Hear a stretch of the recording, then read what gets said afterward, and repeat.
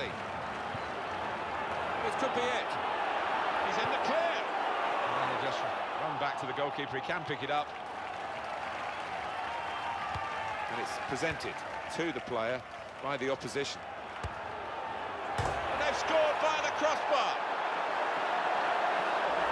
That's one of the great sights in football. The ball underside of the bar into the back of the net. Well, he hit it so hard, that crossbar still shaking now. And that's a goal well worth equalising again.